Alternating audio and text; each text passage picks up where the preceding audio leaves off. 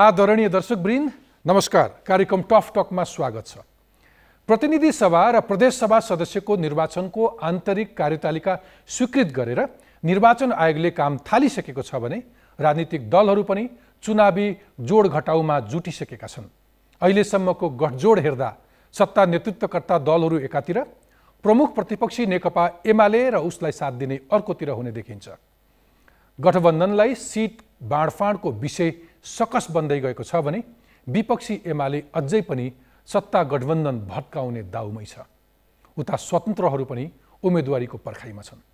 यसपालिको निर्वाचनमा पटक पटक प्रधानमन्त्री भइसकेका पुराना र वयोवृद्ध नेताहरूलाई बहिष्कार गर्ने अभियान पनि छेडिँदैछ।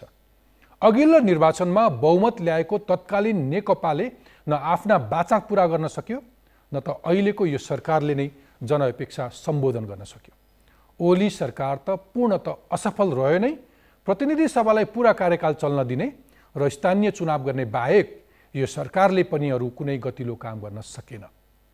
नेतालाई पालो पुर्याउन चार पटक मन्त्री परिषद पुनर्गठन सातै प्रदेश सरकारमा सत्ता भागबन्डा सधैँ विवादको घेरामा परिरहेका अर्थमन्त्रीलाई गम्भीर गल्ती गर्दा गर्दै पनि सफाइसहित दोस्रो मौका जनतालाई महँगीको भार किसानलाई मल अभाव अनि अन्तर्राष्ट्रिय एजेन्डामा कच्चा कुटनीति र अर्थतन्त्र पनि ओह्रालो लाग्दा मौनता। किन दोहोरिन्छ यो प्रवृत्ति? यही बिचमा आसन्न निर्वाचन कसरी हुँदैछ? तालमेलको सहमति गरेका सत्ता गठबन्धनले सिट बाँडफाँडको टुङ्गो कसरी लगाउँछन्? गठबन्धन नै किन पटक पटक मन्त्री र प्रधानमन्त्री भएका वयोवृद्ध नेताको अस्तित्व रक्षा गर्ने दाउ मात्रै होइन कि स्वतन्त्र र युवा उम्मेद्वारसँगको भय वाम एकताको सम्भावनालाई काङ्ग्रेसले कसरी हेरेको छ?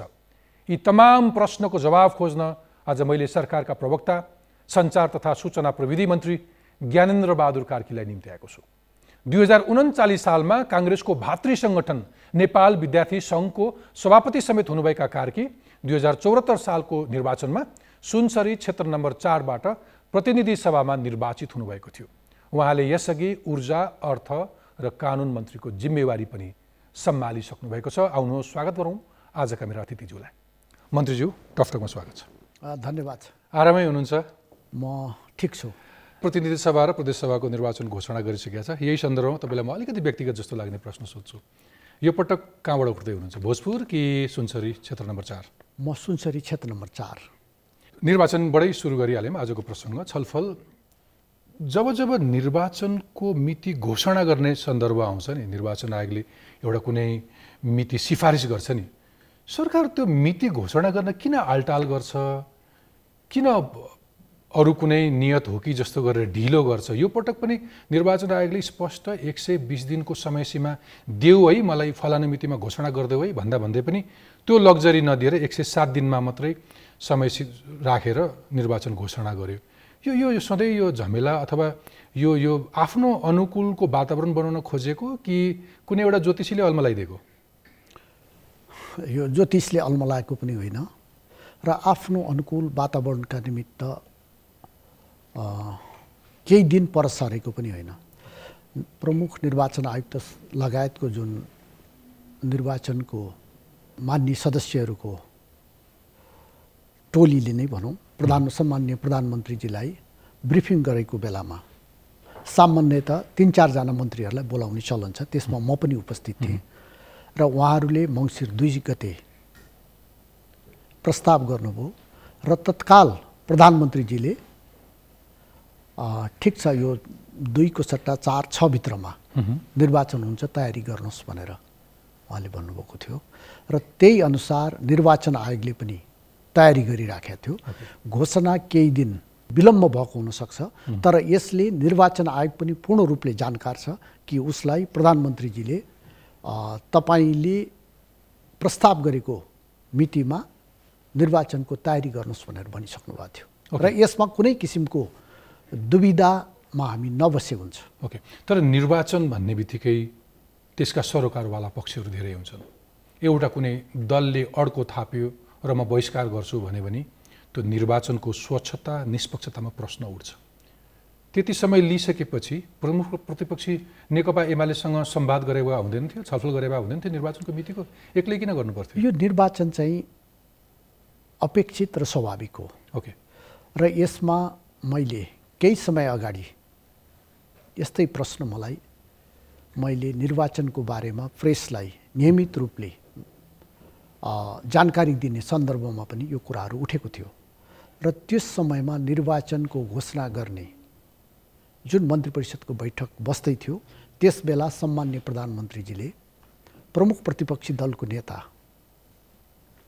पूर्व प्रधानमन्त्री केपी शर्मा ओलीलाई उहाँले संवाद गर्ने प्रयत्न गर्नुभएको हो तर त्यो संवाद हुन नसकेको कुरा हो। तर यो अपेक्षित अपेक्षित मितिमा नै निर्वाचन घोषणा भएको छ र यसलाई त्यसपछि केही दिनपछि प्रमुख प्रतिपक्षी दलले सकारात्मक रूपमा लिएको कुरा सार्वजनिक रूपमा तर प्रश्न चाहिँ थियो प्रमुख प्रतिपक्षी दलले प्रश्न उठाएको चाहिँ समाचारमा आए पनि।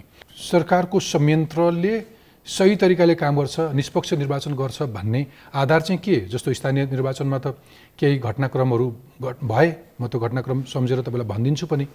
स्थानीय चुनावमा देशैभर विभिन्न प्रकारका सात सय एकचालिसवटा भन्दा बढी घटना भए। झन्डै साढे सात सय घटना भए। त्यो भनेको मनोनयन पत्र र मतपत्र च्यात्ने काम दस ठाउँमा भए। एक सय पाँच मतदान स्थलमा गोली चल्यो। चारजनाको ज्यान गयो। तिन सय सैँतिस राउन्ड गोली चलाउनु पर्ने अवस्था आयो। मतदातालाई पैसा बाँडेको भनेर आरोपमा पाँचजना पक्राउ परे। निर्वाचन आयोगले आफै सुरक्षा व्यवस्था राम्रो भएन भनेर बहन्यो। भनेपछि अबको निर्वाचन सुरक्षित र निष्पक्ष गराउन सरकारले कस्तो भूमिका खेल्दैछ के तयारी गर्दैछ? तपाईँले जुन कुराहरू उल्लेख गर्नुभयो निर्वाचन मूल रूपले स्थानीय निर्वाचन एकै दिनमा शान्तिपूर्ण ढङ्गले नै सम्पन्न भएको छ र विश्वसनीय ढङ्गले सम्पन्न भएको छ। अहिलेको मङ्सिर चार गते सम्पन्न हुने प्रदेशसभा र प्रतिनिधि सभाको निर्वाचन पनि विश्वसनीय ढङ्गले निष्पक्षताका साथ बिना कुनै डर तरास आम नेपाली जनताले जुनसुकै स्थानमा रहेर स्वतन्त्रपूर्वक मतदान गर्ने वातावरण सरकारले मिलाउँछ। यसमा काहीँ कतैबाट शङ्का नगरे हुन्छ। त्यो स्थानीय निर्वाचनका बेला रौतडमा त्यहाँका स्थानीयले टाउकोमा त्यो मतपेटिका हालेर खेततिर दौडेको दृश्य सम्झिनुहुन्छ मन्त्रीज्यू? यो पटक त नहुनका लागि। यी छिट छिटफुट घटनाहरू भए होलान् तर यसलाई पनि हामीले स्मरण गर्दै मङ्सिर चार गते हुने प्रदेश र प्रतिनिधि सभाको निर्वाचनलाई कमसेकम दक्षिण एसियामा एउटा नमुना निर्वाचनको रूपमा यसलाई सम्पन्न गर्न सरकारले पूर्ण तयारी प्रारम्भ गरेको छ। ठिक छ। अब म तपाईँहरूको सत्ता गठबन्धनका बारेमा प्रश्न सोध्न चाहन्छु। पाँच दलीय गठबन्धनको सरकार छ यो चुनावसम्म त गठबन्धन रहन्छ मन्त्रीज्यू अब यो गठबन्धन किन बन्यो भन्नेतर्फ पनि जानु जरुरी छ। वास्तवमा राज्य एउटा भत्किएको अवस्थामा राज्य पद्धति भत्किएको अवस्थामा पुगेको थियो। संविधानले परिकल्पना गरे भन्दा बाहिर गएर दुधी पटक प्रतिनिधि सभा विघटन गर्ने जुन काम भयो र देशमा जुन किसिमको एउटा अन्यल र तपाईँ र म फेरि यसरी कुरा गर्नका निमित्त फेरि अर्को सङ्घर्ष गर्नुपर्छ कि भन्ने परिस्थिति निर्माण हुन लागेको थियो।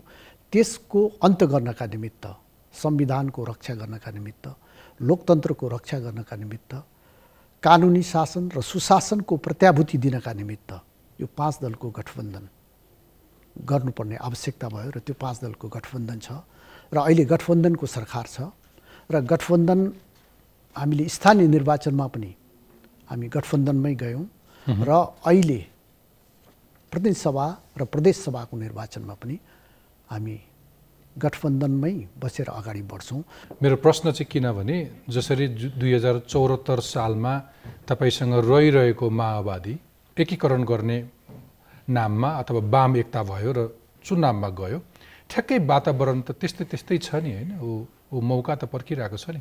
यहाँ आउने अक्सर एकीकृत समाजवादी पार्टीका अथवा नेकपा माओवादीका नेताले यही सिटमा बसेर ओल्लीजीले आत्मआलोचना गर्नुभयो अथवा त्यो बेलाको गल्ती स्वीकार्नु भयो भने अहिलेका अहिले अथवा भोलि बिहान नै वाम एकता हुन्छ भन्ने आशय पटक पटक दोहोऱ्याइरहनुहुन्छ। त्यो पुरानो घटना सम्झिँदाखेरि चस्व त्यस्तो कुनै शङ्का चाहिँ छैन तपाईँहरूलाई?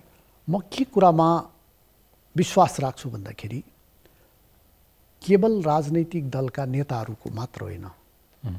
राष्ट्र सेवक कर्मचारीको सामाजिक अभियन्ता सबैलाई अहिले चेतनाको स्तर जनताको धेरै बढेर गएको छ।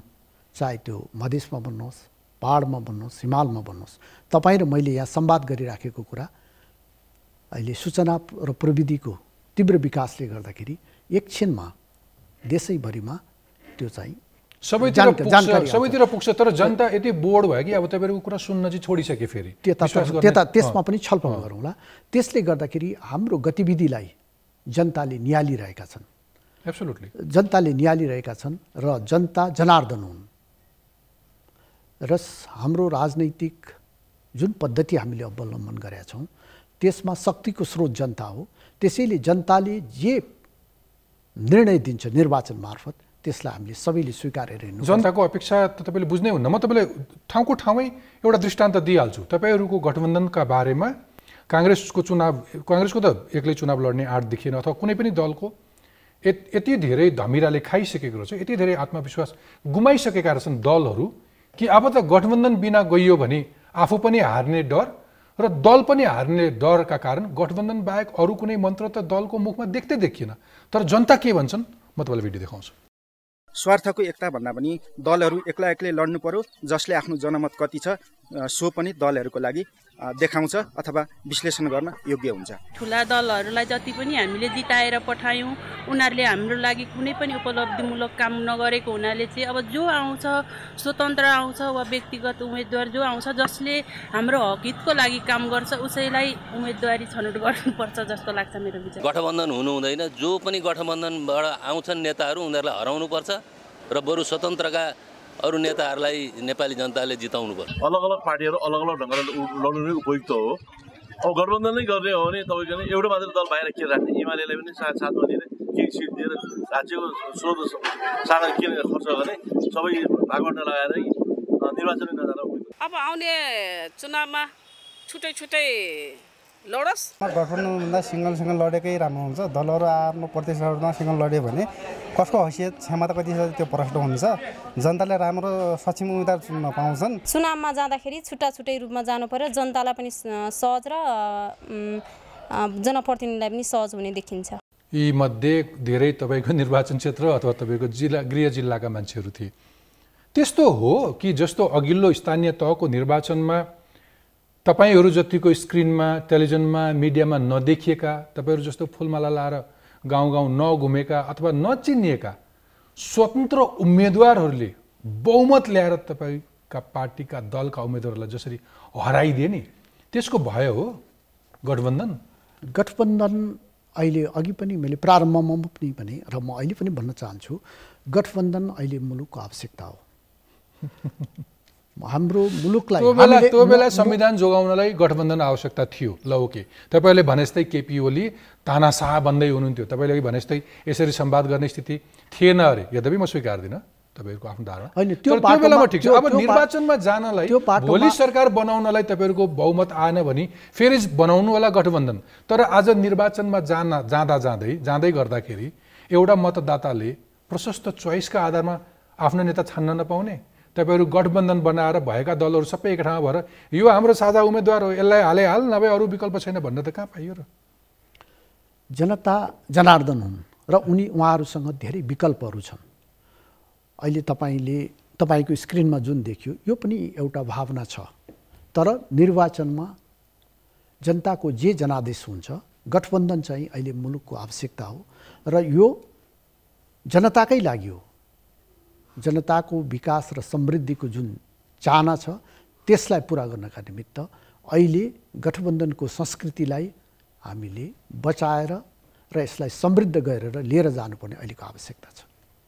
अझ पब्लिकले त के भन्छन् भने उमेर ढल्केका बुढा नेताहरू जो पटक पटक मुलुकको नेतृत्व अथवा बागडोर सम्हाले जो सधैँ असफल रहे जसले कहिले पनि देशलाई अग्रगामी कहीँ लान सकेनन्।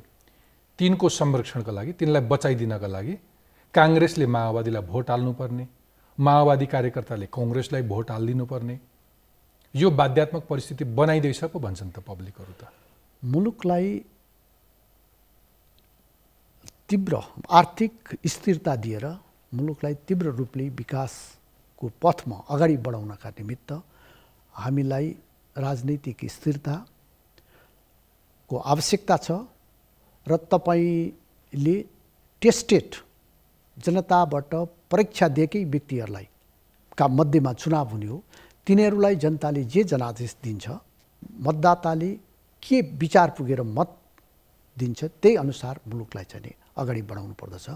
म तपाईँ मार्फत के पनि भन्न चाहन्छु भनेदेखि दुई हजार सात सालदेखि अहिलेसम्म हामीले लोकतन्त्रको पूर्ण रूपले अभ्यास गर्न पाएको भएदेखि आज देशको आर्थिक स्थिति हाम्रो जीवनस्तर धेरै माथि गइसक्यो कति अभ्यास गर्नुपर्ने? तिन दशक भयो प्रजातन्त्र पुनर्स्थापना भएको त्योभन्दा बढी भइसक्यो। यो तिन दशकसम्म तपाईँहरूको ट्रायल एन्ड एरर मात्रै हेरेर बस्ने पब्लिकले तिन दशकमा तपाईँले विश्लेषण गर्नुहोस्। हामीले कति आरोह र अवरोहहरू पार गरेका त्यो तपाईँहरूले गरे। पब्लिकले त जहिले पनि भोट दिए तपाईँहरूलाई पालैसँग दलहरूलाई बहुमत दिदी पठाए तपाईँहरू सबै फेल हुने। उसलाई फेरि अब अब सबै अलग अलग बहुमत लिएर आएका फेल भएका सबै पार्टी र तिनका नेताहरू अब एक ठाउँमा आएर अनि अब यो पालि पनि जिताउ गठबन्धन बाध्यता हो देशको लागि मुलुकको समृद्धिका लागि तिम्रा हितका लागि भनेर भन्दा कहाँ पत्ताउँछन्? तपाईँलाई मैले ठ्याक्कै यो जवाफ दिएँ भने तपाईँलाई अलिकति अनौठो लाग्ला। प्लिज। दलहरू फेल भयो भने पास भएको चाहिँ को त? यस्तो बाध्यतामा पार्नुहुन्छ तपाईँहरू पटक पटक कि उसँग चोइस नै भएन? तपाईँहरू नै आउनुहुन्छ। अब योपालि पनि तपाईँले यस्तो बाध्यतामा पार्दै हुनुहुन्छ कि? सुखै छैन तपाईँलाई भोट नदिकन। त्यसैको विकल्प त खोजेकै स्थानीय तहहरूमा स्वतन्त्र उम्मेदवारलाई दिएर। एनिवेज तर यो गठबन्धन कति सुरक्षित छ? प्रश्न त्यही छ। सिट बाँडफाँड फलामको चिउरा हुँदैन तपाईँहरूलाई सक्नुहुन्छ चपाउन सिट बाँडफाँड निश्चय नै चुनौतीपूर्ण छ। तर यसलाई हामीले एउटा निष्कर्षमा पुर्याउनुको हामीसँग विकल्प छैन। छैन विकल्प। तर सक्नुहुन्छ कि हुन्न भन्ने कुरा? सक्नुहुन्छ। कुरा मिल्छ? कुरा मिल्छ। कङ्ग्रेसले कति लिन्छ अरूले कति पाउँछन्? कुरा मिल्छ। त्यसको आधार केही? केही आधारहरू छन्। जस्तो जनताको के भावना छ त्यसलाई पनि हामीले बुझ्नु पर्यो। दलहरूको साङ्गठनिक संरचना कस्तो छ? त्यसको त विश्लेषण त्यसलाई त्यसलाई पनि हामीले विचार गर्नु पर्यो। चौहत्तर सालमा जनताले कसरी जनादेश गरेका छन्। त्यसलाई पनि विश्लेषण गर्नु पर्यो। र अहिलेको स्थानीय निर्वाचनमा जनताले किन भावना अभिव्यक्त गरेका छन् यी सबैलाई आधार बनाएर होइन त्यसको आधार त विश्लेषण त म भनिदिइहाल्छु नि। कङ्ग्रेसले बहुमत ल्याउनु छ कुनै पनि हालतले। माओवादीलाई कुनै पनि हालतले दोस्रो हुनु छ। एकीकृत समाजवादीलाई आफ्नो अस्तित्व जोगाउनु छ। अब सबैका हातमा लड्डु पुग्छ त अनि फेरि? यो तपाईँले भनेको कुरा सबै जनताको हातमा छ। मैले चाहेर अथवा कुनै दलको नेताले चाहेर हुन्न जनताले जे चाहनु भएको छ त्यही हुन्छ। अरू के के गर्दैछ यो सरकार? गठबन्धनलाई अरू सुरक्षित अथवा आफू सुरक्षित हुनका लागि? जे जसरी भए पनि पब्लिक मतदातालाई कुनै ट्र्यापमा पारेर भोट कुनै हालतले आफ्नो पक्षमा पार्नका लागि। अहिले पछिल्लो समय प्रधानमन्त्री लोसपासँग पनि छलफल गरिरहनु भएको छ। लोसपासँग पनि हामी कुरा गरिरहेको सबैसँग हामीले कुरा गरिराखेका छौँ। तर एउटा कुरा के म स्पष्ट गर्न चाहन्छु भनेदेखि यो गठबन्धन कुनै दल विशेषको विरुद्ध निर्माण गरिएको गठबन्धन होइन। यो गठबन्धन पद्धतिलाई विकसित गर्नका निमित्त बनाइएको गठबन्धन हुनाले यो गठबन्धनका प्रति आकर्षण बढेको छ र गठबन्धनसँग सबैसँग कुराकानी भइराखेको छ र म फेरि दोहोऱ्याएर भन्न चाहन्छु यो कसैका विरुद्धमा गरिएको गठबन्धन होइन। यो मुलुकको हितका निमित्त बनाइएको गठबन्धन होइन तर यहाँले मुलुकका हित मुलुकका हित भन्दै गर्दाखेरि त्यसका केही ठोस आधार त हुनु पऱ्यो नि। तेह्र महिनामा यो सरकारले गरेको काम के देखियो? ओली सरकारको ओली सरकारलाई पछ्याउनु बाहेक उसैको पथ पछ्याउनु बाहेक अरू के देखियो? म भन्छु नि सरकार बनाउन दल विभाजन सम्बन्धी अध्यादेश गठबन्धनका सबै नेतालाई पालो पुर्याउन पटक पटक चार पटक मन्त्री परिषद पुनर्गठन। यो तेह्र महिनामा चार चार पटक। निर्वाचनको मुखमा छौँ? निर्वाचनको बेला भइरहेको छ एक सय बिस दिन भनेर मागिरहेको छ निर्वाचन आयोगले तपाईँहरू तपाईँहरू मन्त्री फेरबदल गरेर गैर सांसदलाई मन्त्री बनाउनुहुन्छ पालो पुर्याउनुहुन्छ जोसुकैलाई होइन? प्रधान न्यायाधीशका विरुद्ध आएको महाभियोगको प्रस्तावका बारेमा थाहा छँदैछ यहाँलाई। प्रधान न्यायाधीशकै कोटाका मान्छेलाई भाग पुर्याउनलाई मन्त्री बनाउनु भयो। नागरिक समाजबाट यति चर्को विरोध भएपछि पछि हटेको प्रदेश प्रमुख हटाएर नयाँ नियुक्ति गर्नुभयो। केपी ओलीले राष्ट्रिय अनुसन्धान विभाग राजस्व अनुसन्धान विभाग सम्पत्ति शुद्धिकरण विभाग यी लगायतका निकायहरू आफू मातहतमा राखेर तानासाई भए भनेर तपाईँहरू प्रतिपक्षी हुँदाखेरि उठाएको चर्को आवाज। आज तपाईँहरूको सरकार त्यसैमा रमाइरहेको छ। तपाईँहरू कोही चुँ बोल्नुहुन्न भनेपछि यी सबै जनताले देख्दैनन् थाहा पाउँदैनन् र हामी सधैँ संवाद गर्छौँ। गरेकै यो सरकार यो सरकार जुन बेला निर्माण भयो त्यो बेला तपाईँ एकपटक स्मरण गर्नुहोस् त। बिल्कुल। कोभिड कोभिडको कस्तो आतङ्क थियो? नेपालमा मात्रै होइन संसारभरि म मान्छु। त्यो त्यस त्यो आधारमा टेकेर पुरानो बहुमतको सरकार ढल्यो तपाईँहरू सरकारमा आउनुभयो। कोभिड गर्नु कोभिड कोभिडलाई यो सरकारले पहिलो प्राथमिकता दियो। सम्मान्य प्रधानमन्त्रीले संसदको रोस्टममा उभिएर भन्नुभयो यो सरकारको पहिलो प्राथमिकता खोप खोप खोप भन्नुभयो। अहिले दक्षिण एसियामै कोभिडको क्षेत्रमा तपाईँले हेर्नुहोस् हाम्रो स्थान अग्रणी छ। जीवन रक्षा गर्ने पनि सरकारको दायित्वभित्र हो। त्यो जीवन रक्षा गर्ने काममा सरकारले प्रशंसनीय काम गरेका छ। अहिले अन्तर्राष्ट्रिय सम्बन्धलाई सुधार गरेर लिएर गएको छ। हो। र अर्को तपाईँलाई म भनिहालौँ तपाईँले सोध्नु पनि होला त्योभन्दै अगाडि म भन्छु। अहिले नेपाल श्रीलङ्काको बाटोमा जान लाग्यो भनेर एउटा चिन्ता चासो र अफवाह सुनियोजित तरिकाले अफवाह पनि फैलाइरहेको छ। त्यसमा सत्यता पनि छ यो सरकारले एमसिसी पास गराएर अन्तर्राष्ट्रिय सहयोग र अनुदानको प्रवाहलाई सकारात्मक सन्देश दिएको छ र सरकारले जनतामा विश्वास जागृत गरेको छ र अन्तर्राष्ट्रिय जगतको चाहिँ विश्वास आर्जित गर्ने काम गरेको छ त्यो अन्तर्राष्ट्रिय जगतको विश्वास आर्जन गर्न तपाईँहरूले कस्तो डिप्लोमेसी अप्नाइरहनु भएको छ म त्यो पनि क्रमैसँग आउँछु नै मलाई अर्को सोध्न मन लागेको यो सरकारको यति धेरै प्रसङ्ग तपाईँले आफैले भन्दै हुनुहुन्छ सरकारले धेरै गर्दै गर्दा गऱ्यो भनेर। तर सरकारी संयन्त्र भनेको त त्यो सत्तामा हुँदा त्यो जो सत्तामा पुगे उसले मात्रै प्रयोग गर्ने संयन्त्र त होइन। त्यो त साझा सम्पत्ति हो। ती निकायहरूलाई बलियो बनाउन सकियो भने मात्रै सुशासन हुन्छ अथवा तपाईँहरू जनताप्रति जवाबदेही देखिनुहुन्छ। तर तपाईँहरू ती संस्थाहरू चलाउनलाई यसरी जथाभावी नियुक्ति गर्नुहुन्छ। त्यो संस्थालाई उकास्नुको सट्टा त्यो त्यो संस्थालाई धराशायी बनाउने बाटोमा जानुहुन्छ त्यस्ता मान्छेहरू ल्याउनुहुन्छ म उदाहरण दिन्छु। प्रिन्टिङ प्रेस खरिद प्रकरण सबैलाई थाहा छ। त्यतिखेर तत्कालीन नेकपा सरकारका मन्त्री गोकुल बासकोटालाई कमिसन मोलमलाइ गरियो भनेर अडियो प्रकरण आएपछि उनलाई राजीनामा दिन बाध्य पारियो। त्यही मोलमलाइमा संलग्न भएका एकजना व्यक्ति सुनिल पौडेल भन्ने मान्छेलाई नेपाल टेलिकमको प्रबन्ध निर्देशकमा नियुक्ति दिइएको छ। यो यो सरकारले अरू सक्षम मान्छे भेटेन। सरकारले नियुक्ति गर्ने बेलामा कहिल्यै पनि त्यो योग्य मान्छे नभेटे जस्तो गर्छ। राष्ट्रिय ध्वजाबाग नेपाल वायु सेवा निगम घाटामा गएर जहाज नै बेच्नुपर्ने अवस्थामा छ। यो संस्थालाई पब्लिकमा लानुपर्छ अथवा सेयर फ्लोट गर्नुपर्छ भनेर डिबेट भइरहेको बेलामा त्यही ठाउँमा त्यो संस्थालाई बलियो बनाउन कहाँ कहाँ? एकजना कोही जसलाई आचरणको विषयलाई लिएर उजुरी छ आरोप छ ती मान्छेलाई कार्यकारी अध्यक्ष बनाइयो। प्रहरी महानिरीक्षक नियुक्तिमा सत्र महिना वरिष्ठलाई पन्छ्याइयो एक महिना अगाडि बढुवा भएकोलाई सङ्गठनको जिम्मा लगाइदियो। सशस्त्र प्रहरी बलमा पनि प्रधानमन्त्रीकै भतिजी ज्वाइँलाई एसएसपी बनाउने भनेर नियमावली नै परिवर्तन गरियो भन्ने समाचारहरू बाहिर आए। उत्कृष्टलाई छाडेर जो कसैलाई पनि। शहीद गङ्गालाल राष्ट्रिय हृदयरोग केन्द्रमा उमेर हदका कारण अवकाश पाउँदै गरेका एकजना मान्छे एकजना डाक्टरलाई नियमावली नै एकजना व्यक्तिका लागि नियमावली संशोधन गरियो। त्यो पनि त्यो मौका छोपेर आफ्नो अनुकूलता हेरेर प्रशस्त हस्तक्षेप गरेर सरकार यो यो यो कुनै निजी आफ्नै बकौती अथवा आफ्नै कुनै संस्था चलाए जस्तो सरकार भनेको त अलिक पारदर्शी अलिक व्यवस्थित अलिक सुशासनका विषयहरूलाई ध्यान दिनुपर्ने मलाई भोलि आक्षेप लाग्छ कि दोष लाग्छ कि भन्ने कुराहरू ध्यान दिनुपर्ने होइन। के हामीले सुन्छौँ यस्तो अर्कै अलिक रामराज्य जस्तै अलिक राम्रैसँग चलिरहेछ सरकार। जहाँसम्म तपाईँले नेपाल टेलिकमको कुरा गर्नुभयो तपाईँलाई म एकपटक नेपाल टेलिकमको जो व्यक्ति तपाईँले अहिलेको नाम लिनुभयो उहाँ कसैको खल्तीबाट आउनुभएको छ कि प्रतिस्पर्धाबाट आउनुभएको छ त्यो एकताल जनतालाई सुशिक्षित गरिदिनका निमित्त म आग्रह गर्दछु। हामीले यो मेरै मन्त्रालय अन्तर्गतको मैले नेतृत्व गरेको मन्त्रालय अन्तर्गतको प्रतिस्पर्धा गरेर आएका व्यक्ति हुन् उनी तर पहिले विवादमा मुछिनु भएको हो?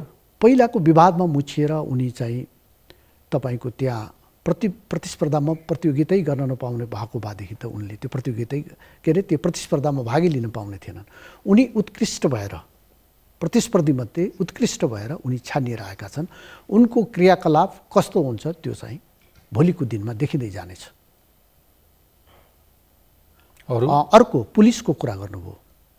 अहिले जो आइजिपी हुनुभएको छ एसपी हुन्जेलसम्मको तपाईँले रेकर्ड हेर्नुहोस् उहाँ नै पहिलो हुनुहुन्थ्यो। र ओली सरकारको टाइममा जो व्यक्तिलाई सुपरसिड गरेर लिएर आइयो त्यो व्यक्तिको ठाउँमा उहाँलाई सरकारले तिनजना मध्येमा सरकारले योग्य ठहरायो र सरकारले ल्यायो र त्यो सरकारको विशेष अधिकार हो। र यसले सुशासनलाई होइन कानुनी शासनलाई काहीँ त्यस त्यसको मर्ममा काहीँ पनि प्रहार गर्दैन। यो सरकारको विशेष अधिकार हो। सुरक्षा निकायमा नियुक्ति दिने सरकारको विशेष अधिकार हो। र यो जै अहिलेका जुन आइजिपी हुनुहुन्छ उहाँ सुरुदेखि एसपीसम्ममा उहाँ नै पहिला हुनुहुन्थ्यो। धेरैले त के भन्छन् भने यो सत्ताको साँचो प्रधानमन्त्रीको हातमै छैन अरू कसैको हातमा छ पनि भन्छन्। अब यो अफवाहको पछाडि तर अघि मैले दिएका दृष्टान्तहरू। पछाडि लागेर मात्रै हामी हिँड्ने हो भनेदेखि हामी कहीँ पनि पुग्दैन। राजनीतिक नियुक्तिमै पनि आफन्त र बहिनी ज्वाइँहरूलाई नै राजदूत बनाएको देखियो। कोही कोही न कोही कसैको बहिनी ज्वाइँ पर्ला कसैको छोरा पर्ला कसैको भतिजा पर्ला उसको योग्यतामाथि हामीले चाहिँ विश्वास गर्नु पर्यो। विश्वास गरेको हो तर संयोग कस्तो भयो भने जो जतिखेर सत्तामा पुग्छ उसका बहिनी ज्वाइँहरूले पाए कि त्यो संयोग त्यो संयोग हुन तर कस्तो त्यो संयोग हो हरेक सरकारका हरेक सरकारमा पुग्ने हरेक वरिष्ठ तपाईँ र म नेताहरूका तपाईँ तपाईँ र म पनि कसैको छोरा होला कसैको भाइ होला कसैको बहिनी ज्वाइँ होला कसैको छोरी ज्वाइँ होला त्यो मेरो राम्रो योग्य बहिनी ज्वाइँले पनि ठाउँ पाउँदा हुन्थ्यो नि त। अरू सबैका बहिनी ज्वाइँले पनि ठाउँ पाउँदा हुन्थ्यो नि। तिनकाले मात्रै पाए भन्ने प्रश्न हो। त्यो त्यो त्यो पनि अतिरञ्जित हो। अतिरञ्जित हो। अहिलेको नियुक्तिहरू नियुक्तिका निमित्त धेरै व्यक्तिहरू लाइनमा हुनुहोला। तर अहिलेका नियुक्तिहरू पारदर्शी छन् र अहिलेका नियुक्तिहरू योग्यतम मध्ये पार्टीको आन्तरिक बैठकमा चाहिँ यो नियुक्तिहरूमा अथवा अलिक बढी हस्तक्षेप भयो अथवा सत्ताको साँचो अरू कसैको हातमा भएको महसुस भयो सरुवा बढुवा नियुक्तिहरूमा एकदम धेरै चलखेलहरू भयो भनेर पार्टीका बैठकमा कतिको उठ्ने गरेका छ? मैले त त्यस्तो सुनेको छैन। मैले सुनेको छैन।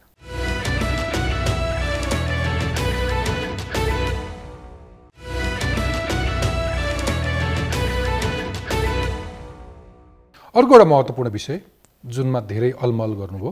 प्रधान न्यायाधीश चोलेन्द्र शमशेर राणाको महाभियोगमा चाहिँ किन यति धेरै राजनीति चोलेन्द्र शमशेरको विरुद्धमा जसरी बार आन्दोलित भयो न्याय क्षेत्र आन्दोलित भयो त्यसपछि महाभियोग लागेको छ महाभियोगको अहिले चाहिँ यो संसदको सम्पत्ति भएको छ र संसदमा छलफलमा छ र यो अहिले समितिमा गएको छ यसले एउटा प्रक्रिया पुगेर निष्कर्षमा पुग्नेछ प्रक्रिया अवलम्बन गरेर निष्कर्षमा पुग्नेछ पुग्छ पुग्नुपर्छ तर आम मानिसको अरू नै शङ्का छ कोही राजनीतिक लेनदेन यो न्यायालयको स्वच्छताका निमित्त। न्यायालयप्रति जनताको विश्वास र भरोसा अक्षुण रहनुपर्छ र यसको स्वतन्त्रताको स्वतन्त्र न्यायालयप्रति मान्छेको सम्मान अभिवृद्धि हुनुपर्छ भन्ने उद्देश्यकै साथ महाभियोग ल्याएको छ। यो अघि पनि मैले भने यो संसदको सम्पत्ति छ। संसदमा छलफल भएर एउटा निष्कर्षमा पुग्छ। होइन त्यसमा तपाईँहरूको भूमिका कस्तो रह्यो भन्ने कुरा हो कि? चासो जस्तो आक्षेप तपाईँहरूलाई आफ्नो क्षणिक राजनीतिक अभिष्ट पुरा गर्न। त्योभन्दा बाहेक केही पनि आफ्नो क्षणिक अभिष्ट पुरा गर्न मात्र यो ल्याइएको यो यो महाभियोगको डन्डा भनेको आफ्नो अभिष्ट छ या त उनको करियर ड्यामेज गर्नु छ अथवा उनलाई तर्साउनु छ। अर्को शङ्काको घेरा के भने प्रधान न्यायाधीशले पनि नेताहरूको बारेमा आफ्नो मुख नखोलिहाल्ने संसद र सरकारले उनलाई असर गर्ने खालको कुनै काम पनि नगर्ने अथवा महाभियोग पास पनि नगर्ने। महाभियोग महाभियोग यो नेताहरूले ल्याएको हामीले संविधानको दफा उपदफा अनुसार नै महाभियोग आएको छ र महाभियोग ल्याउनु पर्ने परिस्थितिको निर्माण भएको हुनाले नै उहाँमाथि महाभियोग लागेको छ र यो एउटा सम् यसले एउटा निष्कर्षमा पुग्छ र अहिले न्यायालयमा निष्कर्ष भनेको चाहिँ निष्कर्ष भनेको चाहिँ प्रधान न्यायाधीश सरकार र विपक्षी बिच एक किसिमको त्रिपक्षीय समझदारी छ। त्यही अनुसारको एउटा निष्कर्षमा पुग्ने। समझदारी। समझदारी होइन। यो जो प्रक्रिया छ त्यो प्रक्रियाबाट एउटा निष्कर्षमा पुग्छ। कहिले? यो प्रक्रिया कहिले सुरु हुन्छ कहिले टुङ्गमा पुग्छ? अस्ति भर्खर नै सम् के अरे संसदमा छलफल भयो। यो समितिमा गएको छ। अनि त्यसले गति त लिनुपर्छ होला नि संसदको त अवधि सकिन लाग्यो। या अहिले अहिलेको हाम्रो प्रतिनिधि सभाको सम्पत्ति हो यो चाहिँ एउटा निष्कर्षमा यो पुग्छ। ओके। अर्को यो सरकारलाई लागेको आक्षेप चाहिँ यो सरकारले यही संसदबाटै टुङ्गाउनु पर्ने कति कामहरू थिए। कानुन अगाडि बढाउनु पर्ने थियो। त्यो बढाउन सकेन। सङ्घीय निजामती सूचना प्रविधि मानवाधिकार आयोगसँग सम्बन्धित विधेयक यस्ता करिब करिब पचासवटा भन्दा बढी विधेयकहरूमा सरकारले उदा उदासीनता देखायो भन्ने आक्षेप पनि छ। मलाई म तपाईँलाई एक मिनट मात्रै स्मरण गराउन चाहन्छु। संसदलाई प्रभावकारी बनाउने दायित्व सरकारको जतिको छ। त्यति नै प्रमुख प्रतिपक्षी दलको पनि। बिल्कुल बिल्कुल। प्रमुख प्रतिपक्षी दलले बिना कारण कति लामो समयसम्म संसदलाई अवरुद्ध गर्यो त्यही अवरुद्धताका कारणले यी सब कुराहरूमा विलम्ब हुन गएको छ। तपाईँले अर्थ मन्त्रालय पनि सम्हाल्नुभयो। पछिल्लो जुन रङ्गमञ्च जस्तो लाग्ने गरी नाटकहरू मञ्चन भए नै अर्थ मन्त्रालयमा अर्थमन्त्रीहरूबाट धेरैले त्यो अर्थमन्त्रीको खेलाची भनिरहेका छन्। यसलाई कसरी हेर्नु भएको छ? मुलुकको आर्थिक अवस्था यो अवस्था यो परिस्थितिमा छ। अनि अर्थमन्त्रीको कुरा त मैले तपाईँलाई विवरण दिनु परेन होला थाहा छ। आएदेखि कसरी विवादमा पर्दै आउनुभयो? एकजना व्यक्तिले विदेशबाट कुनै ठुलो भारी रकम मुलुकमा आउँछ। राष्ट्र ब्याङ्कले यो यो लिगल होइन यसरी आउने रकममा भनेर अन्तर्राष्ट्रिय कानुन मापदण्डहरूलाई पनि आधार बनाएर उसले कुनै एउटा निर्णय लिन खोज्छ। मन्त्रीले निर्देशन दिन्छन् गभर्नरले मान्दैनन् उनीहरूले निलम्बन गर्ने प्रयत्न गरिन्छ उनलाई हटाउन खोजिन्छ न्यायालयमा जान्छन् जितेर आउँछन् फर्किन्छन्।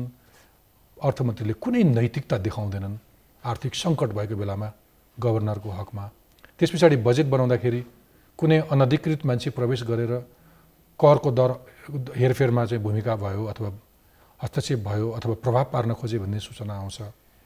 त्यस पछाडि जान्ने बुझ्ने मान्छेहरूले सिसिटिभी फुटेजको माग गर्छन् त्यो गायब हुन्छ। सिस्टममा काहीँ देखिन्न। त्यस पछाडि कुनै एउटा छानबिन समिति जस्तो बन्छ। त्यसलाई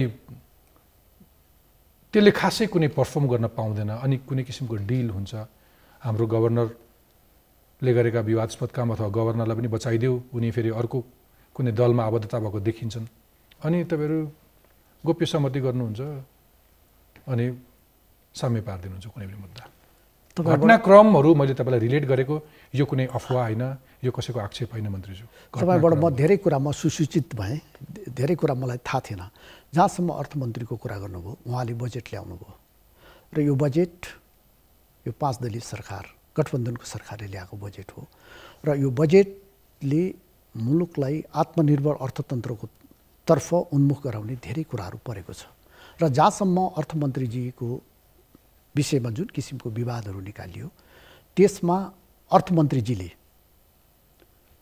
म छानबिनलाई सहयोग गर्छु म मन्त्रालय जान्न भन्न भन्न पनि उहाँले पाउनुहुन्थ्यो। उहाँले राजीनामा दिनुभयो। यस्तै कुरा भरत मोहनजी र हाम्रो विष्णु के विष्णु पौडेल विष्णु विष्णु पौडेलजी। विष्णु पौडेलजी पनि यस्ता प्रश्नहरू उठेका भएको उहाँहरूले कुरा उहाँहरूले राजीनामा दिनु भएन। उहाँले। राजीनामा उहाँले राजीनामा दिनुभयो र संसदीय छानबिन समिति बन्यो। संसदीय छानबिन समितिले उहाँलाई उहाँको बारेमा एउटा निष्कर्ष निकालिसकेपछि यसमा छलफल चिन्ता चासो राख्नु स्वाभाविक हो। तर जुन हिसाबले अर्थमन्त्रीजीको फेरि नियुक्ति भएको छ यसलाई स्वाभाविक प्रक्रियाको रूपमा हामीले बुझ्नुपर्छ र यो समाजलाई हामीले भन्नुपर्छ। तपाईँले अघि जसरी मैले घटनाक्रमहरू थाहा पाइनँ भनेर भन्नुभयो नि प्रवक्ताले यो कुराहरू थाहा नहुँदो रहेछ भन्ने अर्को जानकारी भयो। मैले थाहा अर्को थाहा नभएको कुरा जस्तो तपाईँलाई म भनौँ का अब के अरे महाप्रसाद गभर्नर र यसमा चाहिँ गुपचुप चाहिँ सम्झौता भयो त्यो मलाई थाहा छैन। म सुसूचित त्यो। ओके त्यो घटनाक्रमहरू। अर्को पनि तपाईँलाई थाहा नभएको कुरा भनिदिउँ कि उनलाई राजीनामा गराउँदै गर्दाखेरि एउटा औपचारिकता अर्को एउटा नाटक मञ्चन गरिन्छ तपाईँ फेरि आउनुहुन्छ भनेर पहिल्यै सहमति भएको थियो अरे। यो पनि तपाईँलाई मैले जानकारी गराएँ मन्त्रीज्यू यो पनि मैले। नयाँ सूचना पाएँ। ओके। अरू कुनै विवरण त मैले तपाईँलाई भनिदिनु पर्दैन। पृथ्वीबहादुर शाहले चालिस करोड ल्याएर छुटाउन चाहिँ गभर्नरलाई उनले दबाब दिएको अथवा सिमेन्ट र स्टिल उद्योगमा आएका ठुला लगानीको स्रोत नखोजेको निजी जलविद्युत आयोजनाहरूलाई दुई दशकभन्दा बढीका लागि कर छुट दिएको जग्गा हदबन्दी खुला गरेर ठुला कारोबारी कारोबारीहरूलाई प्रोत्साहन गरेको सेनिटरी प्याडमा नब्बे प्रतिशत भन्सार छुट दिएको तर त्यसमा कुनै राजनीति भएको अथवा प्रधानमन्त्री परिवारकै कोही मान्छे सदस्य भेटिएको त्यसमा संलग्न भएको भेटिएको भन्ने कुराहरू पनि आज पहिलोचोटि जानकारी हुँदैछ कि पहिले थाहा थियो? चाहिँ यी अतिरञ्जितहरू हुन्। जस्तो भन्नुहोस् अँ अहिले सिमेन्ट हामीले चाहिँ जस्तो चालिस करोड छुटाउन दबाब दिएको अतिरञ्जितै हो। चालिस करोड छुटाउ तपाईँ अर्थमन्त्री हुनुभयो यदि मैले त्यो पैसा ल्याएको छु भनेदेखि म तपाईँकोमा जान सक्छु। तर त्यसको जुन हैसियत छ त्योभन्दा त्यो चाहिँ त्यो रिलिज त भएको छैन। र उहाँले के रहेछ हेर भन्न सक्छ। मन्त्रीले हेर भन्न सक्छ। त्यो त तपाईँले व्याख्या गर्न थाल्नुभयो फेरि। मन्त्रीले हेर भन्न सक्छ। तर त्यसलाई छुटाऊ नछुटाए हुन्न त उहाँले भनेको मलाई थाहा छैन त्यो। तर त्यति भन्न पनि त्यो मान्छेको पृष्ठभूमि के हो? ब्याकग्राउन्ड के हो पैसा कसरी आइरहेको छ त्यसरी निर्देशन पनि दिन मिल्छ एउटा मन्त्रीले। त्यति स्वाभाविक मान्न सकिन्छ यो त यो त सिधा सिधा होइन यसलाई अख्तियारको दुरुपयोग भएन। यसलाई अख्तियारको दुरुपयोग भन्न यसलाई चाहिँ के भन्दाखेरि हामीले लगानी मैत्री वातावरण नबनाइकन देशको विकास हुन सक्दैन। हामीले पुँजी त्यो तर्कमा जसले जहाँबाट ल्याएको पैसा पनि दिने छोड होइन नदिने। नदिने। कानुन त यसको के छ हेर भनेर मलाई थाहा छैन त्यो पनि। कानुन त यसलाई के छ हेर भन्न चाहिँ कुनै पनि मन्त्रीले भन्न सक्छ। तर कानुनले मिल्दैन भनिसकेपछि यसलाई छोड भनेर भन्न मिल्दैन। त्यो भन्यो भनेदेखि चाहिँ अख्तियारको दुरुपयोग हो। ओके यो सरकार बनेपछि चिनबाट दुईवटा उच्च स्तरीय भ्रमणहरू भए तर नेपालबाट बल्ल बल्ल परराष्ट्र मन्त्रीज्यू चिन भ्रमणमा निस्किनु भयो तर यो बिचमा प्रधानमन्त्री भारत पुगिसक्नुभयो। नेपालले चिन मामिलामा अलिकति महत्त्व नदिएको जस्तो बुझेको छ बेजिङले? यो सरकार आइसकेपछि अन्तर्राष्ट्रिय सम्बन्धलाई सुदृढ गर्ने काम गरेका छ। प्रधानमन्त्रीजीको भारत भ्रमण भयो। भारत भ्रमण भइसकेपछि सन् दुई हजार चौधमा हामीले पिडिए गऱ्यौँ। र उहाँ आइसके उहाँको भारत भ्रमण भइसकेपछि अहिले करिब तिन सय चौसठी मेगावाट बत्ती अहिले हामीले बिजुली भारतमा पठाइराखेका छौँ। यो बाटो खुलेको छ। म तपाईँलाई भनिहालौँ हामी पन्ध्र हजार मेगावाट मात्रै विद्युत भारतीय बजारमा हामीले पठाउन सक्यौँ भनेदेखि महिनाको यो रफली मोटामोटी करिब साठी सत्तरी अरब रुपियाँ हामी चाहिँ अर्न गर्न सक्छौँ आम्दानी गर्न सक्छौँ। त्यो बाटो चाहिँ यो सरकारले खोलेको छ। यो धेरै दूरगामी छ र हाम्रो विकास र समृद्धिको एउटा आधार जलस्रोत पनि हो। जलस्रोतको विकासमा यसले चाहिँ कोसे ढुङ्गाको काम गरेका छ।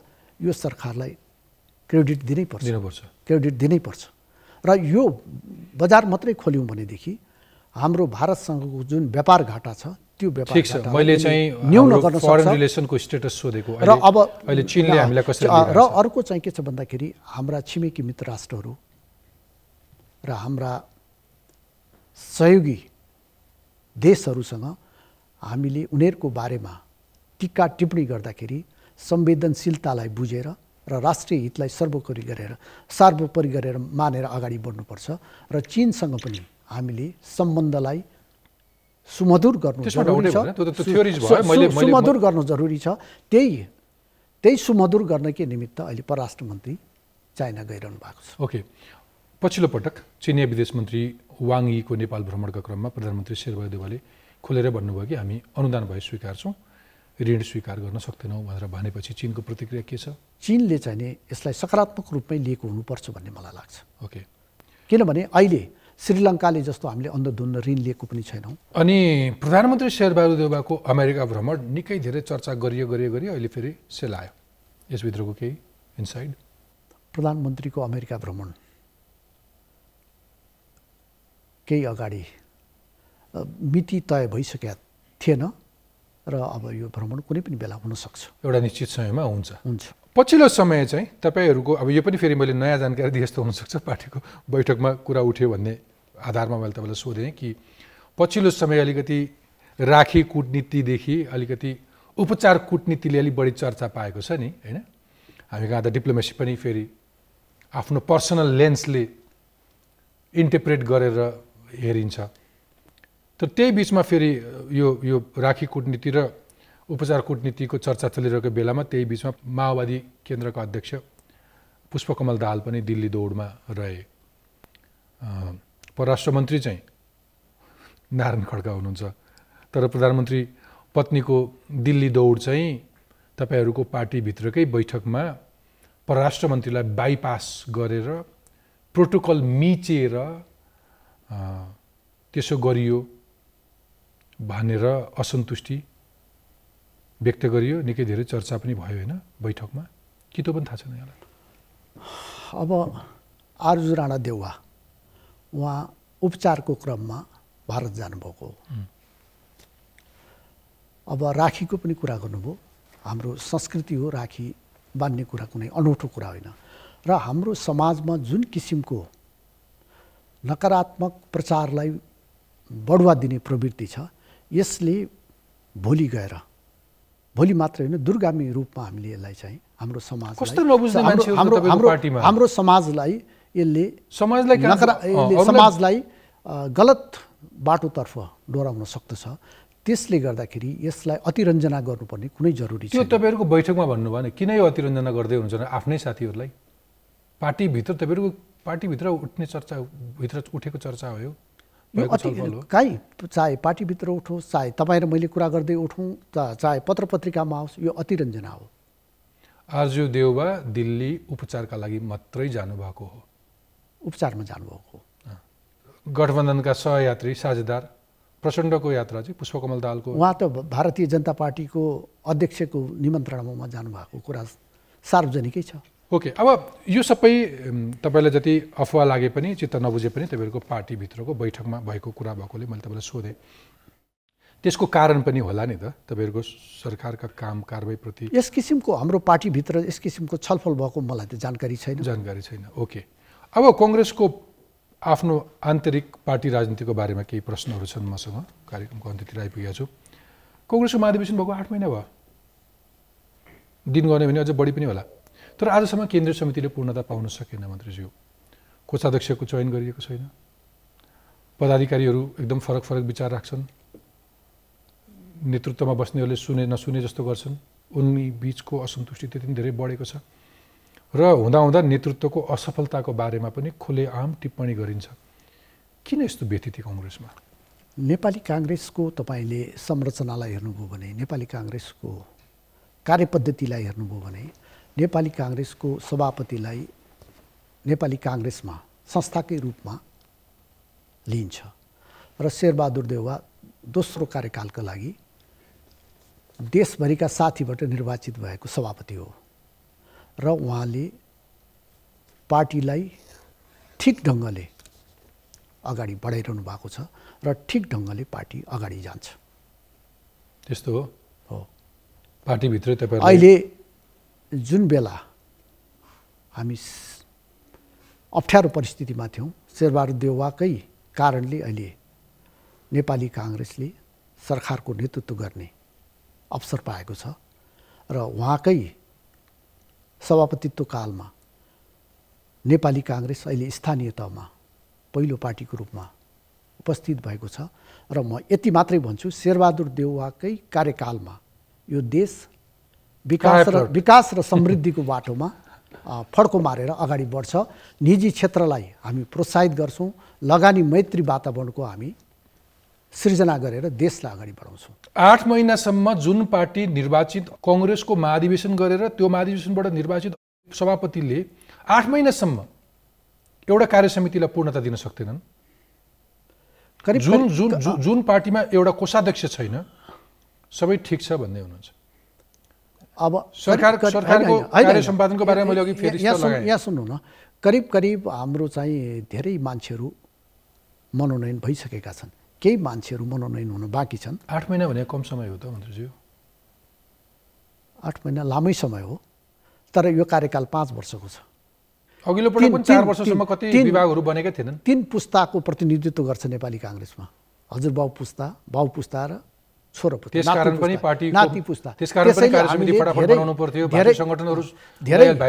हामीले धेरै विचार गरेर यो पार्टीलाई गतिशील बनाएर अगाडि बढाउनका निमित्त धेरै कुरा विचार गरेर अगाडि बढ्नुपर्छ।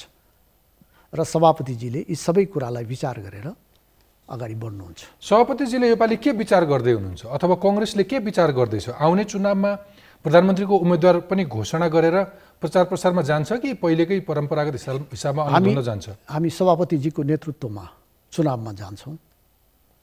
होइन मैले जसरी तपाईँका पार्टीका महामन्त्री गगन थापाले अब म कङ्ग्रेसको तर्फबाट प्रधानमन्त्रीको पनि उम्मेद्वार हुँ अथवा म प्रधानमन्त्रीको उम्मेदवारी सहित तपाईँहरूसँग भोट माग्न आउँछु भनेर भनेका छन् नि त्यस्तो कुनै सोच तपाईँका पार्टी सभापति शेरबहादुर देउबाको पनि छ अथवा पार्टीको छ? शेरबहादुर देउवाको नेतृत्वमा पार्टी निर्वाचनमा जान्छ र प्रधानमन्त्री हुनका निमित्त संसदीय दल पहिला संसद हुनु पऱ्यो त्यसपछि संसदीय दलको नेता हुनु पऱ्यो त्यो प्रक्रिया बाँकी नै छ। तर प्रधानमन्त्री शेरबहादुर देवाको नेतृत्वमा पार्टी चुनावमा जान्छ। गगन थापाले भनेको चाहिँ यसपटकको निर्वाचनमा म प्रधानमन्त्रीको रूपमा समेत भोट माग्न आउँदैछु भनेर हरेक सांसदलाई प्रधानमन्त्री हुने अधिकार छ। निर्वाचित भएर आएपछि। संसदको हरेक प्रधान संसदले म प्रधानमन्त्रीको आकाङ्क्षी भन्नु पाउँछ। तर मैले सोधेको चाहिँ गगन थापाकै बारेमा उहाँको बारेमा म भन्न सक्दिनँ। यहाँलाई पनि केही केही व्यक्तिगत आक्षेप छन्? तर त्योभन्दा पहिले म तपाईँहरूको सरकारको बारेमा केही जनअपेक्षाहरू थिए म त्यो देखाउँछु। त्यसले तपाईँलाई अलिकति भए पनि जान्न बुझ्न सजिलो हुन्छ होला। विदेशतिर प्लाइन नहुन् रोजगारको लागि नेपालमै बसेर आफ्नै देशको लागि रगत पसिना बगाउँ भन्ने चाहना इच्छा थियो तर त्यो पुरा गर्न सकेको छैन। खाद्यान्नदेखि लिएर अन्य सामग्रीहरूको मूल्य वृद्धि र सरकारले त्यसलाई चाहिँ प्रभावकारी रूपमा नियन्त्रण गर्न नसक्नु चाहिँ जनताको लागि एउटा पीडाको विषय भएको छ जस्तो मलाई लाग्दछ। कहिले दाइको पालो कहिले भाइको पालो भने जस्तै आलो पालो मन्त्रीमै ठिक्क भइरहेका छन् सोच्यो भन्दा ठ्याक्क विपरीत भएको पाइन्छ। पाँच दलीय गठबन्धन छ यसमा धेरै के भन्छ सस्तो सामानहरू हुन्छ सबै हुन्छ तर त्यस्तो भएन ठ्याक्कै विपरीत भयो र यिनीहरू आफ्नो आफ्नो साता खानको लागि रोज्नको लागि सरकार बचाउनको लागि मात्र बेस देखिन्छ। अरू केही छैन। किसानका खाद्य समस्या धेरै नै बढी छ विकराल रूपमा छ तर यो सरकारले खाद्य समस्या समाधान गर्नका लागि कुनै पहल पनि गरेका छैनन्। र अर्को भनेको यो राष्ट्रिय गौरवका योजनाहरू जुन सञ्चालन हुनुपर्ने हो द्रुत गतिमा त्यो पनि सञ्चालन गरेका छैनन्। सांस्कृतिक विकास भाषिक विकास धार्मिक विकास र के अरे भौतिक विकासको पूर्वाधारहरू जुन रूपमा जुन गतिशीलतामा हुनुपर्ने थियो त्यो चाहिँ पूर्ण हुन नसकेको हामीलाई लागेको छ। पहिचानको कुरा पहुँचको कुरा प्रतिनिधित्वको कुरामा यो सरकारबाट खासै हामी पाउन सकेनौँ। कार्यकर्तालाई आफ्ना भुरौटेहरूलाई आफ्ना शुभचिन्तकहरूलाई एउटा राजनीति नियुक्तिको रूपमा मात्रै चलाउने भाँडोको रूप खाना पकाउने भाँडोको रूपमा परिचालन परिचालन गरेको र फेरि यो आशा लाग्दो सरकार जस्तो मलाई लाग्दैन। यो हामीले यो देशैभरबाट ऱ्यान्डमली सडकमा भेटेका मान्छेहरूको प्रतिक्रिया हो तर वास्तवमा यस्ता कुराले सरकारमा बस्नेहरूलाई खास छुँदो रहेन छैन मन्त्रीजी? सत्य तथ्य सुरुवात सत्य तथ्य आलोचनाले लोकतन्त्रलाई मजबुत बनाउँछ। सरकारलाई अझ उत्तरदायी बनाउँछ। उहाँहरूले अभिव्यक्त गरेका भावनालाई सम्मान गर्दै हामी अगाडि बढ्नुपर्छ। यो निजी आक्षेप छ तपाईँमाथि म मेरा गेस्टलाई लागेका निजी आक्षेप पनि त्यसलाई स्पष्ट पार्ने मौका दिन्छु। ज्ञानेन्द्र बहादुर कार्की चाहिँ अलिक अन्तर्मुखी स्वभावका छन् खुल्दैनन् र शक्ति केन्द्रलाई रिजाउन साह्रै माहिर आफ्नो अनुकूलको निर्णय जसरी पनि गर्छन् गर्छन् अथवा त्यसलाई अलिकति अलिक खरो अलिक ठाडो जस्तो लाग्न सक्छ। आफ्नो दु दुनो सोझ्याउन चाहिँ साह्रै सिपालु छन् भन्छन्। पहिले सुन्नुभएको थियो एक्सेप अब मान्छेलाई जज गर्ने हरेकको आ आफ्नो आँखा हुन्छ। अब जसरी जज गरिरहनु भएको छ अब त्यसमा मैले अरू भन्नुपर्ने कुरा केही छैन तर म आफ्नो कर्तव्यलाई पालना गर्नुपर्छ सामर्थ्यका साथ इमान्दारिताका साथ अगाडि बढ्नुपर्छ भन्ने मान्यतामा विश्वास गर्छु र मैले मेरो पुस्तामा लोकतन्त्रका निमित्त जनताका निमित्त आदर्श र मूल्य मान्यताका निमित्त केही न केही योगदान गरेको कुरालाई पनि स्मरण गरे पनि अझ राम्रो हुन्छ भन्ने मलाई लाग्छ। ओके। अलिक फरक प्रसङ्ग र म यो पनि भनिहालौँ यति कुरा। मैले मलाई यो पद देऊ भनेर म नेताहरूसँग पद माग्न चाहिँ गएको छैन। ए। म पहिला जलस्रोत मन्त्री भएँ। त्यो बेला पनि मलाई त्योखेर वर्तमान प्रधानमन्त्री पार्टी सभापति हुनुहुन्थ्यो। उहाँलाई तपाईँलाई म यो जिम्मेवारी म पठाउँछु भन्नुभयो। त्यसपछि अर्थ मन्त्रालयको जिम्मेवारी पनि मलाई उहाँले बोलाएरै दिनुभयो र अहिले सुरुमा मलाई कानुन मन्त्रालयको जिम्मेवारी दिनुभयो र अहिले सूचना तथा सञ्चार मन्त्रालयको जिम्मेवारी दिनुभयो। मेरो आग्रहमा होइन उहाँले आफ्नै जजमेन्टमा चाहिँ मलाई भूमिका दिनुभएको छ र मेरो कर्तव्य छ मैले जुन भूमिका पाएको छु यसलाई इमान्दारिताका साथ सामर्थ्यताको साथ काम गरेर परिणाम दिने दिशामा म अग्रसर हुनुपर्छ भन्ने मेरो मान्यता छ। तर मेरो आदर्श मूल्य र मान्यताको आधारमा अगाडि बढ्नुपर्छ भन्ने मेरो आदर्श छ। हुन्छ मन्त्रीज्यू। अलिक फरक प्रसङ्ग। म ऱ्यापिड फायरमा जानुभन्दा अगाडि एउटा प्रश्न। मैले हिजो सामाजिक सञ्जालबाट पिक गरेका थिएँ। यो यो सामाजिक सञ्जालबाट पिक गरेको यो यो क्वेसन चाहिँ भेरी इन्ट्रेस्टिङली नेपाल सरकारकै परराष्ट्रविद भएर काम गरेको मान्छे पूर्व राजदूत पनि। उहाँले सामाजिक सञ्जालमा लेखेको लाइन पढ्छु जस्ताको तस्तै। प्रजातान्त्रिक र कम्युनिस्ट सबैले समाजवाद समाजवाद भने सबैको व्याख्या पनि सुनियो तर मान्छेहरू भन्छन् समाजवाद अलिक माथिल्लो खालको मागी खाने भाँडो रहेछ। किन होला? भनेर लेख्नु भएको थियो। म खास असहमत हुन सकिनँ। त्यसकारण तपाईँलाई मैले प्रश्न सोधेँ। अब हामीले विकास समृद्धि भनेर दस्तावेजमा लेखेर तपाईँ तपाईँ र मैले संवाद गरेर अथवा चुनावमा यो सपना देखाएर अब हामीलाई भाग्ने छुट छैन। अब विकास र समृद्धिको बाटोमा यो निर्वाचनपछि मुलुकलाई हामीले अगाडि बढाएर लिएर जानुपर्छ र उहाँहरू जस्ता व्यक्तित्वहरूले जुन सचेतना समाजमा फैलाउनु भएको छ त्यसका निमित्त उहाँलाई म धन्यवाद दिन चाहन्छु। तर नकारात्मक कुरा गरेर मात्रै समाज सही दिशामा अग्रसर हुन सक्दैन त्यो कुरालाई पनि हामीले मध्यनजर राखेर तर अबका दिनमा हामीले विकास र समृद्धि भनेर मात्रै धर पाउनु विकास र समृद्धिको दिशामा हाम्रो समाजले अनुभूत हुने किसिमको काम हामीले गर्नुपर्छ। ओके म अब ऱ्यापिड फायरमा जानुभन्दा अगाडि अर्को एउटा प्रसङ्ग जोड्छु। अघि तपाईँले मैले प्रवक्तामा जोडे जस्तै कि प्रवक्ताहरूले सोधेको प्रश्नको जवाब दिन्नन् तर प्रवक्ताहरूलाई केही भन्नु चाहिँ रहन्छ। कार्यक्रमको अन्त्यमा आइपुगेको छु। मैले कति सोधेँ सरकारको प्रवक्ता पार्टीको एउटा वरिष्ठ नेता त्यसकारण कति सोधे सोधिनँ अथवा तपाईँले कति जवाब दिनुभयो दिनु भएन तपाईँलाई भन्न मन लागेको कुरालाई चाहिँ म अरू एक मिनट दिन्छु। केही बाँकी छ? सत्य तथ्य आलोचनाले समाजलाई सही दिशातर्फ अग्रसर गराउँछ र लोकतन्त्रलाई यसले सबल बनाउँछ र सरकारलाई उत्तरदायी बनाउँछ र सत्य तथ्य र प्रेस स्वतन्त्रता अभिव्यक्ति स्वतन्त्रता र बहुलवादमा आधारित पद्धतिलाई हामीले अग्रसर गराएर लिएर गयौँ भनेदेखि मलाई लाग्छ सबैको भावना अनुरूप हामीले काम गरेर अगाडि बढ्न सक्छौँ। म ऱ्यापिड फायरमा जान्छु अब। मन्त्रीज्यू ऱ्यापिड फायर भनेको चाहिँ प्रश्न झर्न नपाउँदै जवाब सकेसम्म एक शब्दमा। आगामी चुनावमा गठबन्धन कि दलीय प्रतिस्पर्धा? गठबन्धन। तपाईँ कहाँबाट लड्ने? सुनसरी कि भोजपुर? सुनसरी चार। चुनावपछि गठबन्धन सरकार कि एकल? चुनावपछि पनि गठबन्धन सरकार। आगामी प्रधानमन्त्री पुरानै कि नयाँ पुस्ताको? आगामी प्रधानमन्त्री जसले चुनावी नेतृत्व गरेर बहुमत ल्याउँछ उहाँ नै हो। तर तपाईँको चाहना एउटा शब्दमा आगामी प्रधानमन्त्री पुरानै कि नयाँ पुस्ताको? आगामी प्रधानमन्त्री शेरबहादुर देउवा। मैले त पुस्ता सोधेको थिएँ तपाईँले किटा नै गरिदिनु भयो एउटै मान्छे कति पटक प्रधानमन्त्री बन्न पाउँछ? दुई पटक तिन पटक पाँच पटक कि जति पनि? अरू देशको पनि तपाईँहरू उदाहरण हेर्नुहोला। र अहिले हामी विशिष्ट परिस्थितिमा छौँ र एकपटक शेरबहादुर देउवालाई हामीले स्थिर सरकारको नेतृत्व गर्न दिएर उहाँ मुलुक को माटोलाई चिनेको व्यक्ति हुनुहुन्छ।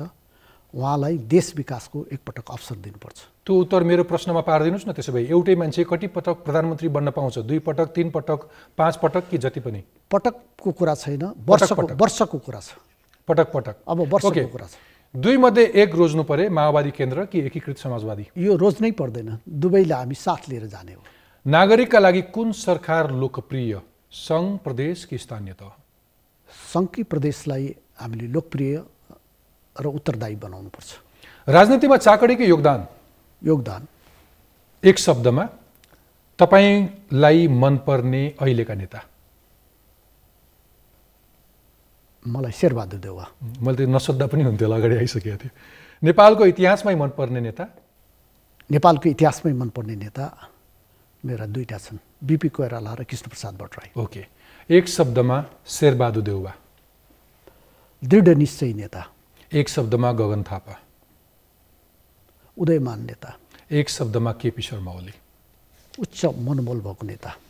एक शब्दमा पुष्पकमल दाहाल। गतिशील नेता। एक शब्दमा माधव कुमार नेपाल। आदर्शवादी नेता। एक शब्दमा राजेन्द्र लिङ्गदेन। उहाँको परीक्षा हुन बाँकी छ। हुन्छ मन्त्रीज्यू यो सरकारका प्रवक्ताज्यू तपाईँको महत्त्वपूर्ण समय र विचारका लागि धेरै धेरै धन्यवाद। हस् तपाईँले मलाई अवसर दिएकोमा तपाईँलाई पनि धेरै धेरै धन्यवाद।